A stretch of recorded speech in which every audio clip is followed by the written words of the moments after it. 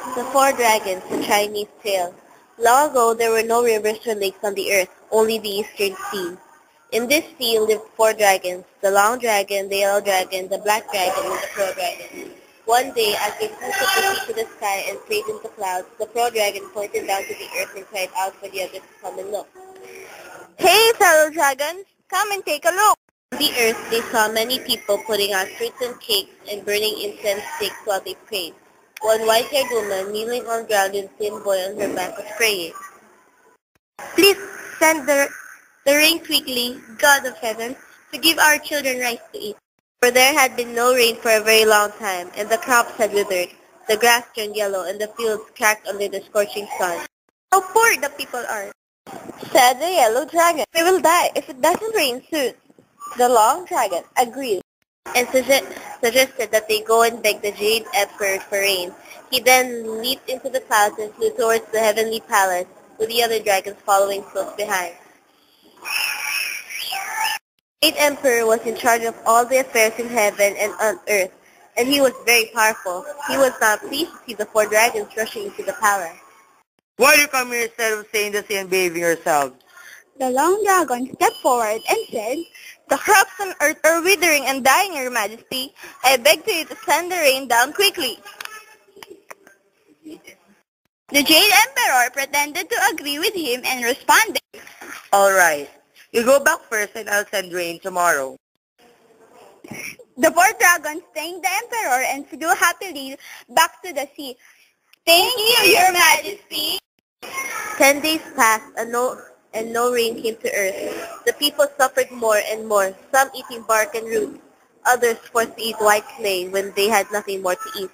Seeing this, four dragons felt sorry for the people because they knew the Jade Emperor cared only about pleasure and never looked at the people to heart. They decided they could only rely on themselves to relieve the people from their misery. Seeing the vast sea, the black dragon said he had an idea. Look, there is plenty of water in the sea where we live. We should scoop it up and spray it towards the sky. The water will be like raindrops and come down to save the people and their crops. Good idea, said the others. But the long dragon added, We will be blamed if the Jade Emperor learns of this. I will do anything to save the people, the Pearl Dragon declared. The other dragons agreed, and they flew down to the sea, scooped up water in their mouths, and flew back into the sky where they sprayed water all over the earth. The four dragons flew back and forth, making the sky dark, and before long the sea water became rain and it poured down to the sky.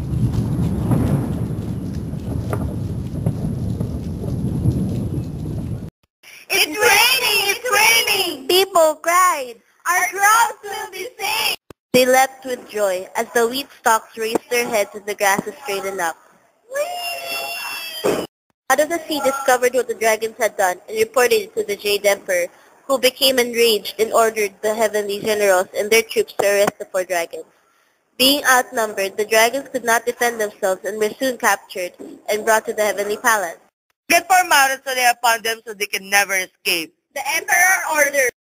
The mountain god used his powers to make four mountain, mountains fly from afar and press them down on the four dragons, imprisoning them forever. The dragons never regretted their decision and determined to continue to do good for the people. But the nymph Simjing, a magical being that remained indifferent to the emperor's decision, her words are cold and severe. Your cruelty is equal to your arrogance. Your beauty is always unsurpassable. The king stepped forward, but Xinjing moved back.